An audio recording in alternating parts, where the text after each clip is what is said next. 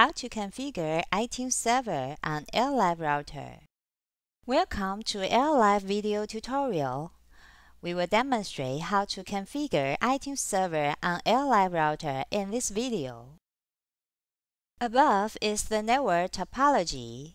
It includes an AirLive router, USB flash disk, and a laptop. The laptop is connected to the router.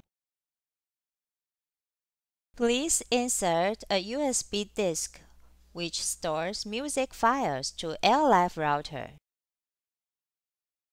PC configuration. Open the web browser and type in the default IP address which locates in the product's quick installation guide. In this case, it's 192.168.1.254. Please enter the password and click Login.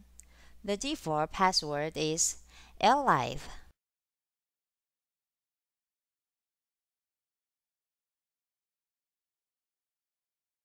Click Advanced and then click NAS. Click Web Hard Disk and you can see the music files on the screen. Click iTunes Server and select Enable. Type in server name and password and click Save to apply setting.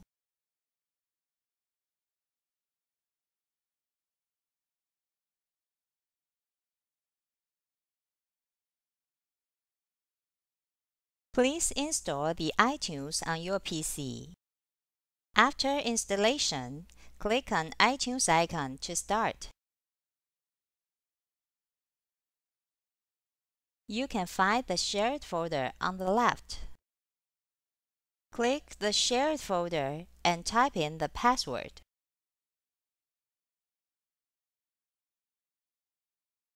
The music files will appear on the screen. You can now play the music from iTunes. If you have further questions, please feel free to visit our website on www.airlive.com Thank you for watching.